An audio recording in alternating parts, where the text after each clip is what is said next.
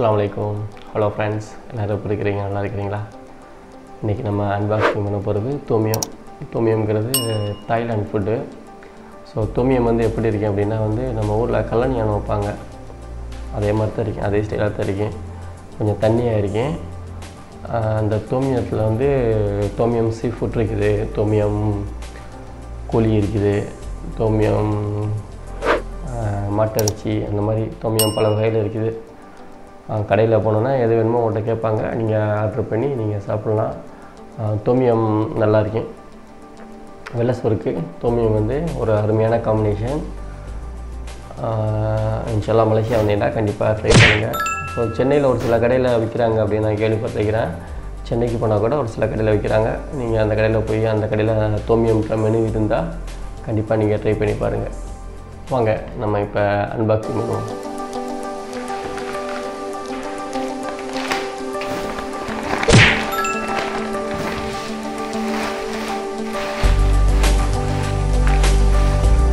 வந்து சோறு மத்தனா ஒயிட் ரைஸ்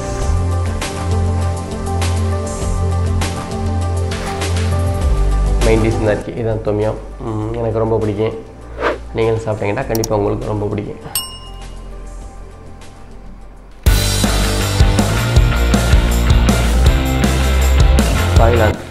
தாய்லாந்துன்னு அவங்க தாய்லாந்தோட அவங்களோட லைஃப் ஸ்டைல் வந்து ஏறக்குறைய நம்ம தமிழ் கல்ச்சர் அதே மாதிரி தான் இருக்கும். ஏன்னா அவங்களோட சாப்பாடு வந்து நம்ம சாப்பிட்ற மாதிரி தான். கொஞ்சம் ஸ்பைசியாக தான் அவங்களோட சாப்பாடு எல்லாமே இருக்கும்.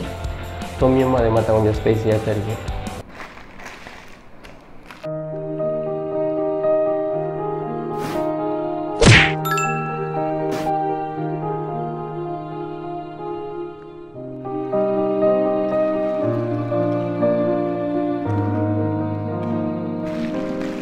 சாப்பிட்றதுக்கு முன்னாடி இதை ஒன்று எப்போதும் யோசிக்குங்க உண்ணுங்கள் பருகுங்கள் வீண் விரயம் செய்யாது. சாப்பாடு எப்போதுமே வேஸ்ட் ஆக்காதீங்க வாங்க ஃப்ரெண்ட்ஸ் சாப்பிடுவோம்.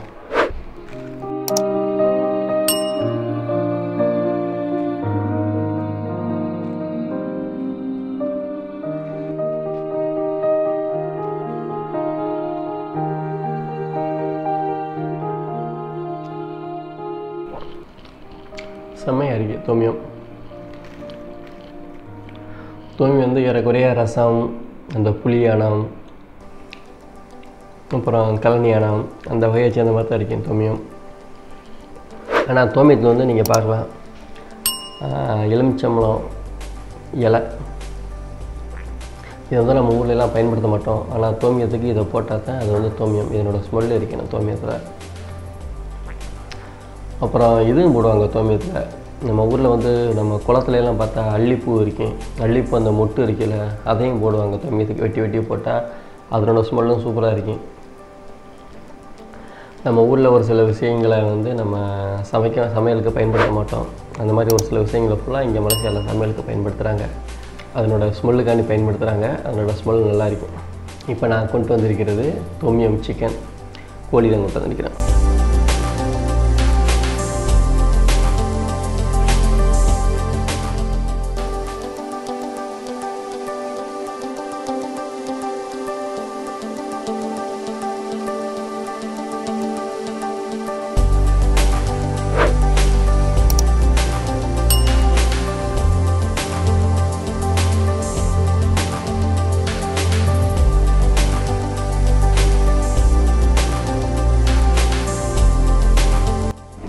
வெளிநாடு அப்படின்னு நம்மளுக்கு நினைக்கல முதல்ல நம்மளுக்கு வர்றது வந்து மலேசியா சிங்கப்பூர் புர்னே அப்புறம் துபாய் சவுடி கத்தார் அந்த மாதிரி தான் வெளிநாடு சொன்னோன்னா நம்மளுக்கு முதல்ல ஞாபகம் வரும். பிகாஸ் கண்டிப்பாக ஊரில் உள்ள ஆட்கள் யாராச்சும் ஒரு ஆள் இருந்தால் அவங்களோட ஃப்ரெண்ட்ஸு அல்லது அவங்களோட சொந்தக்காரங்க யாராச்சும் ஒரு ஒரு ஆள் வந்து இந்த நாட்டிலலாம் கண்டிப்பாக யாராச்சும் ஒரு ஆள் கண்டிப்பாக இருப்பாங்க. அதே மாதிரி வெளிநாட்டுக்கு வேலைக்கு நீங்கள் வரையில் கண்டிப்பாக ஒரு ஏஜென்ட் மூலம் நீங்கள் வந்தால் நீங்கள் ஒன்றுக்கு பத்தருக்கு அவங்கள்ட்ட கேட்டுக்கிறங்க கன்ஃபார்ம் பண்ணிக்கிட்டு அதுக்கப்புறம் வாங்க. ஏன்னா நான் ரொம்ப பாக் ரொம்ப நம்ம பார்க்க வேண்டியது இருக்குது. வெளிநாட்டுக்கு வேலைக்கு எடுக்கணும் அப்படின்ட்டு காசை வாங்கிட்டு வெளிநாட்டுக்கு வந்தோன்னே அவங்க வந்து விட்டுட்டு போயிடுறது அந்த மாதிரி விஷயங்கள் ரொம்ப நடந்துகிட்ருக்குது இருக்குது. வெளிநாட்டுக்கு கூட்டிகிட்டு போகிறோம்னா அவங்கள்ட்ட ஃபுல் அமௌண்ட்டை வாங்கிட்டு அவங்களுக்கு வந்து டூரிஸ்ட் விசா மொத்தம் இங்கே எடுத்து கொடுத்து வெளிநாட்டுக்கு கூப்பிட்டு வந்துட்டு அதோட இங்கே வந்து விட்டுட்டு போயிடுவாங்க. அந்த மாதிரி விஷயங்கள் ரொம்ப ந நடந்துகிட்ருக்குது. நீங்கள் வெளிநாட்டுக்கு வர்றீங்க அப்படின்னா வந்து கண்டிப்பாக உங்களோட ஏஜென்ட்டோ யாராக இருந்தாலும் சரி கண்டிப்பாக அதாவது நீங்கள் வேலைக்கு உங்களுக்கு கன்ஃபார்மாக இருக்கு அப்படின்னா எந்த ஒரு கம்பெனியோ அந்த கம்பெனி வந்து உங்களுக்கு கண்டிப்பாக ஒரு விசா தரும். அந்த விசாவை பாருங்கள் அந்த விசாவில் வந்து இந்த வெளிநாட்டு உள்ள அட்ரஸ்லாம் போட்டிருக்கீங்க. எந்த கடையில் நீங்கள் வேலைக்கு போகிறீங்க அந்த மாதிரி எல்லாமே போட்டிருக்கீங்க. இப்போ தான் நம்ம இன்டர்நெட் காலத்தில் இருக்கிறோம். நீங்கள் அந்த கடையை வந்து நீங்கள் கூகுளே சர்ச் பண்ணி பார்க்கலாம். அந்த கடை இருக்குதா அப்படிங்கிற மாதிரி. அந்த கடை இருக்கிறது கன்ஃபார்ம்டாக அந்த கூகுள்லேயே கண்டிப்பாக அந்த கடையோட ஃபோன் நம்பர் இருக்கும் அந்த கடைக்கு ஃபோன் பண்ணி நீங்கள் கன்ஃபார்ம் பண்ணிக்கிட்டு இந்த மாதிரி உங்கள் கடைக்கு தான் நான் வேலைக்கு வராண்டி இருக்கு வேலைக்கு நான் வர்றேன். இது உண்மையா அப்படிங்கிற மாதிரி கேட்டுட்டு நீங்கள் வரலாம். அப்படி இல்லை அப்படின்னா வந்து உங்களுக்கு ஃப்ரெண்ட்ஸ் யாராச்சும் இருந்தாங்கன்னா மலேசியாவில் மலேசியாவிலையோ எந்த நாட்டுக்கு நீங்கள் போகிறீங்களோ ஃப்ரெண்ட்ஸ் இருந்தாங்கன்னா அவங்கள்ட்டே இந்த அட்ரஸை கொடுத்து இந்த அட்ரஸில் உள்ளதெல்லாம் உண்மையா? இந்த அட்ரஸில் உள்ள கடை உண்மையா? அந்த கடை இருக்குதா? அந்த மாதிரி கன்ஃபார்ம் பண்ணிவிட்டு நீங்கள் வாங்க வெளிநாட்டுக்கு வர இருந்தால்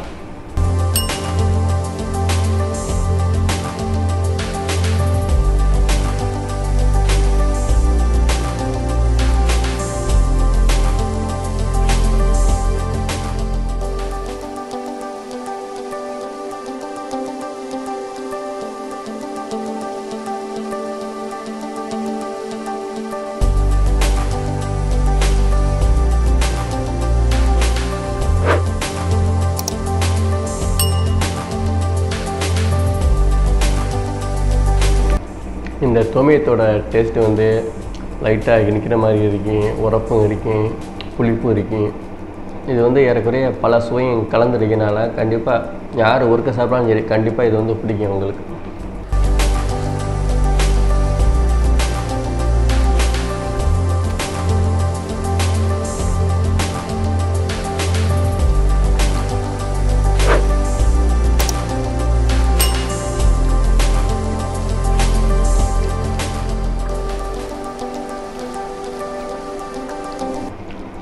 என்னைக்காச்சும் ஒரு தாய்லாந்து போகிறதுக்கு ஒரு ஆப்பர்ச்சுனிட்டி கிடைச்சினா போகிறதுக்கு ஒரு சான்ஸ் உங்களுக்கு கிடைச்சா கண்டிப்பாக நீங்கள் தோமியத்தை வந்து மிஸ் பண்ணாதே தாய்லாந்தில் சாப்பிட்றதுக்கு. கண்டிப்பாக அவ்வளோ அருமையாக இருக்கும் தாய்லாந்தில் இங்கே சாப்பிட்டீங்கன்னா தோமியம்.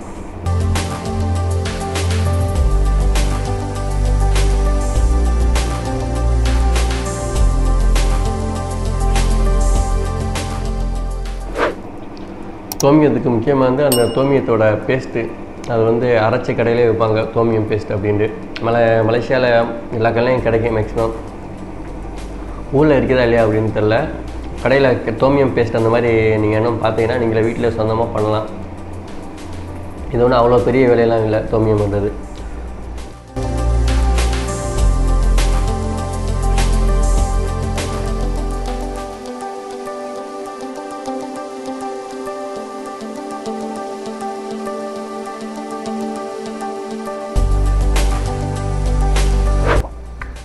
தோமியம் பண்ணுறது ரொம்ப ஈஸி ஒரு பாத்திரத்தில் உங்களுக்கு எத்தனை பேர் இருக்கிறீங்களோ அது தக்கன கோழி எடுத்துக்கிறோங்க கோழி எடுத்துக்கிட்டு தண்ணி ஏன்னா தோமியம் தண்ணி மாதிரி தான் இருக்கணும்.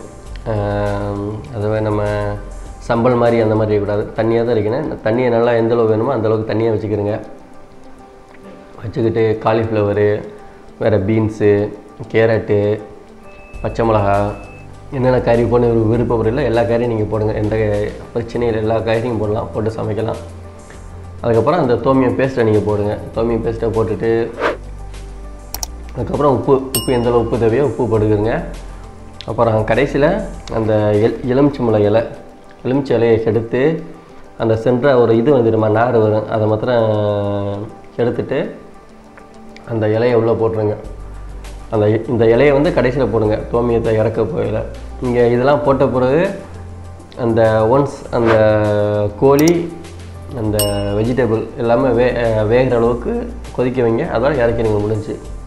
இ- இறக்குறதுக்கு அஞ்சு அஞ்சு நிமிஷத்துக்கு முன்னாடி இந்த எலுமிச்சம்பழம் இலையை போட்டுருங்க.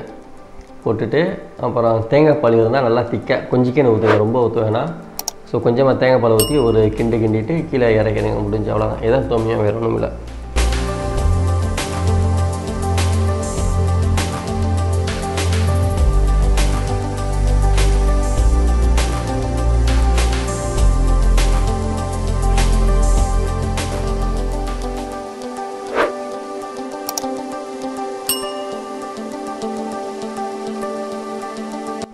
அதே மாதிரி இன்னொன்று ரொம்ப முக்கியம். தோமியம் அந்த கடைசி அஞ்சு அஞ்சு நிமிஷத்துக்கு முன்னாடி எலுமிச்சம்பழம் இலை போடையில். எலுமிச்சம்பழம் சாறு. நீங்கள் ஒரு ஒரு நாலு பேருக்கு தோமியம் வைக்கிறாருந்தா எலுமிச்சம்பழம் பாதி எலுமிச்சம்பழத்தை சாறு புழிஞ்சு அந்த சாரை மாத்திரம் ஊற்றுங்க விதை எதை எதையும் போடாமல் அந்த சாரை மாத்திரம் போட்டு ஒரு கிண்டி கிண்டுங்க. அது கொஞ்சம் புளிப்பாகவும் இருக்கும் ப நல்லாவும் இருக்கும் சாப்பிட்றதுக்கு.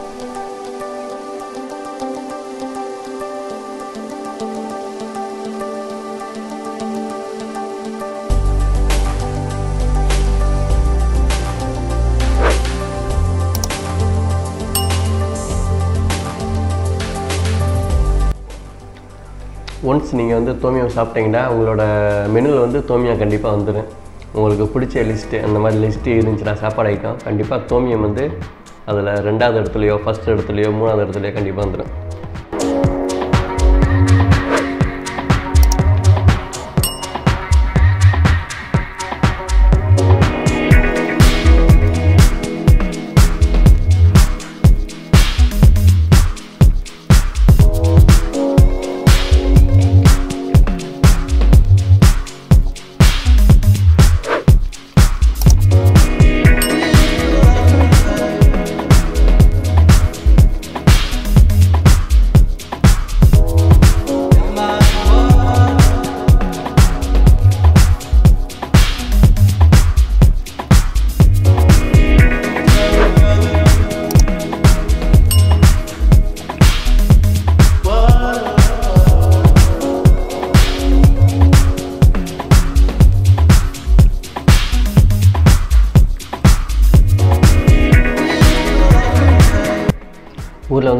வந்து சூப் குடிப்போம். அதே மாதிரி இதை வந்து சூப்பாகவும் நம்ம குடி குடிக்கலாம். ஒரு சில பேருக்கு திறமல இருக்கையில் சூப்பு குடித்தா நல்லா இருக்குது அப்படிங்கிற மாதிரி ஒரு தோணும். இந்த மாதிரி இருக்கையில் வந்து தோமியம் சூப்பு நீங்கள் வச்சு கொஞ்சம் ஸ்பைசியாக நீங்கள் குடிச்சி அப்படின்னா நல்லா இருக்கும்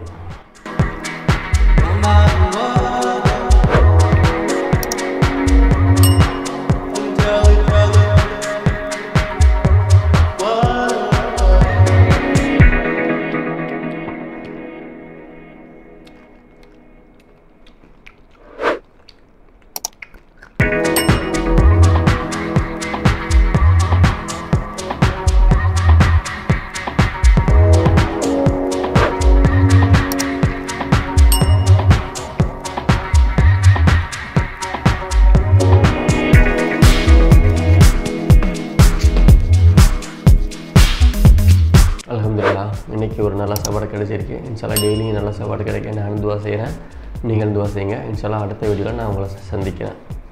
அலாம் வலைக்கம்